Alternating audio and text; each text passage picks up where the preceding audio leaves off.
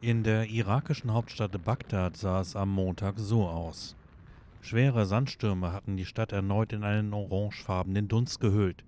Die Sicht war teils sehr stark eingeschränkt. Die Regierung rief die Menschen dazu auf, so weit wie möglich zu Hause zu bleiben und draußen Schutzkleidung und Brillen zu tragen. Nach Angaben von staatlichen Medien waren Rettungswagen im Einsatz, um Menschen bei drohender Erstickung zu helfen.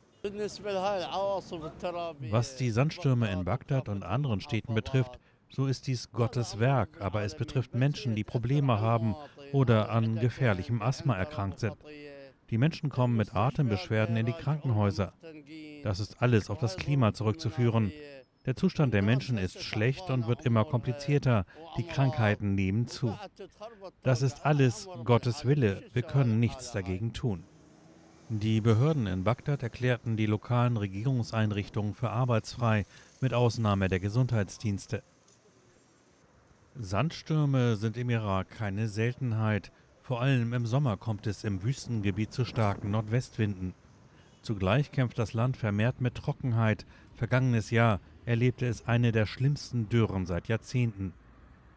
Wegen der erneuten Sandstürme seien nach Angaben des irakischen Gesundheitsministeriums rund 2000 Patienten in Krankenhäusern behandelt worden. Notfalls würden Patienten vor Ort im Sandsturm wiederbelebt, hieß es.